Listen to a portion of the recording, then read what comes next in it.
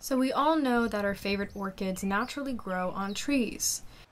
Many people live in warm subtropical and tropical climates, and they plant orchids in their garden, like we do with tulips, but not in pots, rather on trees. For epiphytic orchids to grow attached to something, they need some sort of support, and this is their usual state. So, how is it done? I'm going to show you using a simple store-bought Phalaenopsis orchid as an example. I will need a thick and sturdy cotton or linen thread, some support material, and a suitable tree. It is better to plant the orchid in a place where there is a fork in the trunk and a branch, for example, to give a large surface for the roots to attach to.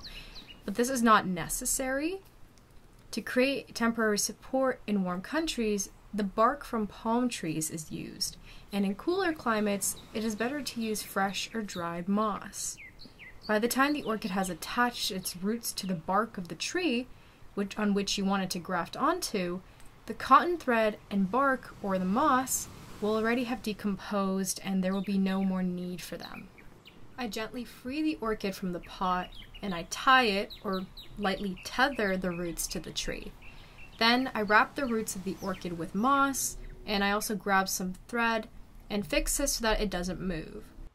I spread the upper roots so that they can touch the surface of the tree in as many places as possible and can attach the tree as quickly as possible.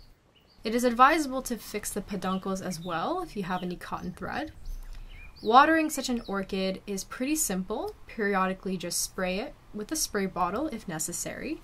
If it's raining or the air humidity is high, then there is no need to water anything at all, since that will be just enough for the orchid. Because of their biological characteristics, healthy orchids can tolerate long periods of up to two months without watering. Orchid root velamen cells can form strong adhesion on contact with various natural surfaces, even with plastic pots. The orchid is not a parasite and does not harm the tree. It only uses the tree as support in its hard struggle for existence, for moisture, and for sunlight. In cold climates, attaching an orchid to a tree on the street is not desirable for obvious reasons, but you can try this at home on a ficus or a palm tree, for example, or even on a decorative snag. Before doing this, make sure that the roots of the orchid are healthy and have a sufficient thick layer of velamen.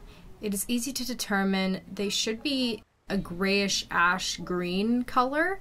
If the roots of the orchids are simply green, then the velamen is thin and such an experiment may fail and the organ may simply become dehydrated and die.